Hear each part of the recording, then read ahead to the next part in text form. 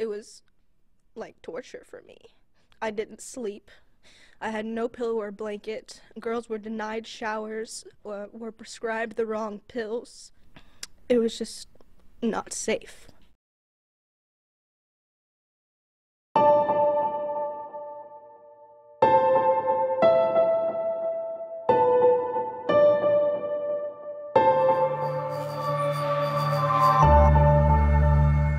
The reason that I went in there in the first place was to seek help for all of the traumatic experiences that I've been through. It was not helpful whatsoever. Um, excuse me. All it did was cause stress and pain for me and my family. Where I come from, it's not that common to go to a facility to get help with your mental health.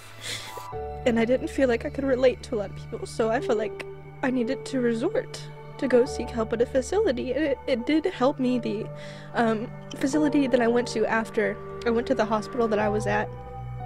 But while I was at that specific hospital, those first three days, it was like torture for me. I didn't sleep.